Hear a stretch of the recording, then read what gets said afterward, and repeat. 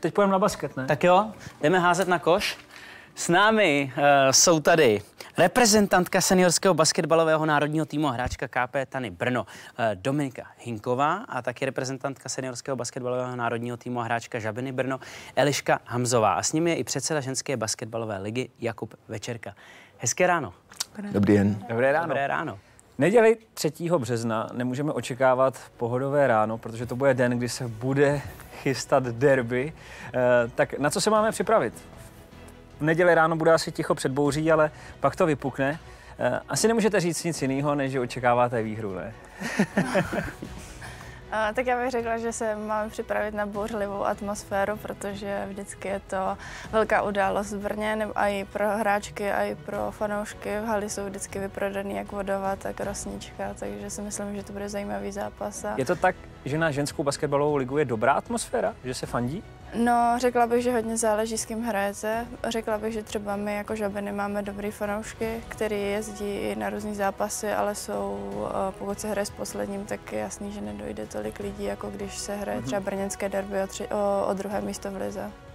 Dominika, co vy, vy taky máte dobré fanoušky.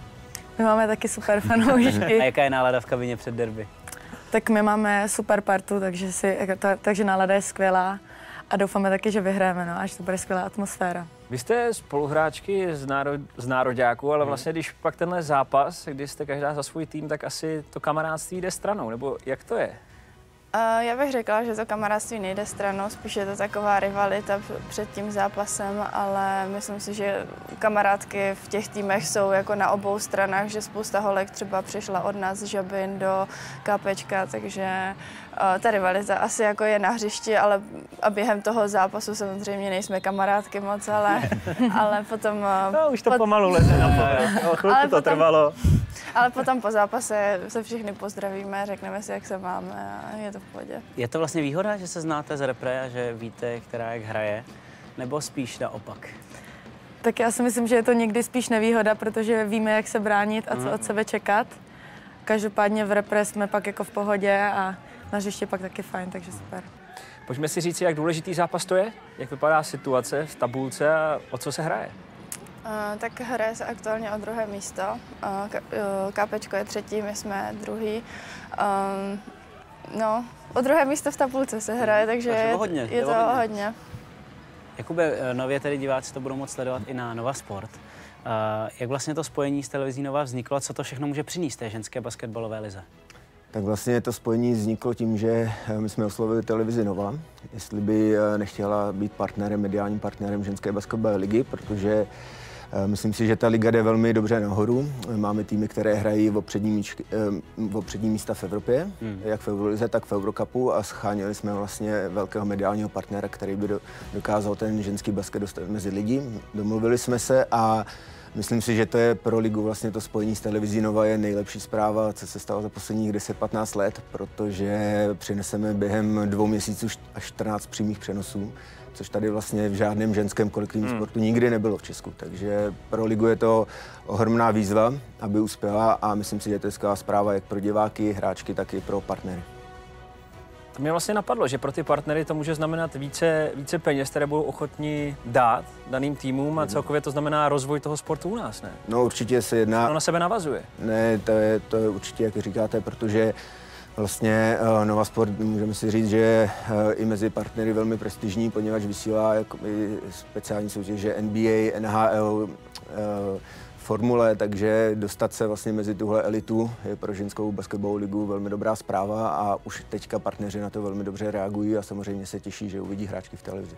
Hmm. Neděli teda uvidíme derby. Jaké další zápasy nás čekají během této sezóny? Na co dalšího jde pozvat? Tak vlastně pozveme ještě určitě na dva zápasy nadstavby, což je vlastně taková ta klíčová část sezóny před eh, playoff, kdy týmy spolu soupeří o co nejlepší umístění do playoff a pak na konci března už to vypukne a budeme mít měsíc a půl zápasů playoff od čtvrtfinále až po finále, které budeme vysílat samozřejmě taky na nově, takže si myslím, že se mají diváci na co těšit.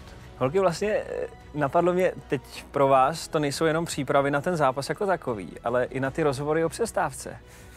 Chystáte se taky na tady to, kdy vlastně musíte po té po části, kdy to odehrajete, jste úplně vyřízený, jít před kameru a nějaký reportér podobný jako my dva se vás začne ptát na, na otázky, co říkáte na tady ten moment v zápase a tak dále? No, my jsme zvyklí na poločasové rozhovory, ale já jsem se dozvěděla, že budou i během čtvrtin, což je úplná novinka a myslím si, že to bude něco, na co si musíme zvyknout, protože vlastně v těch čtvrtinách jsme více zaměřený na to, že dostáváme pokyny od trenéru a tohle bude úplně mm-hmm. něco, co vás tak jako vytrhne z toho soustředění trochu, takže se na to budeme muset trošku asi zvyknout.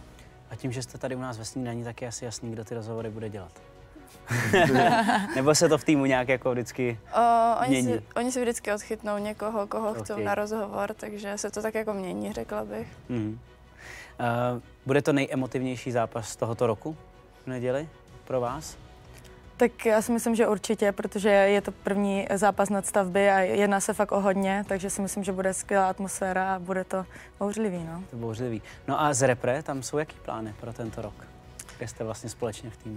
Uh, tak letos bychom měli hrát pre kvalifikaci na mistrovství světa, které by mělo být v roce 2026, takže ta by se měla odehrát v srpnu.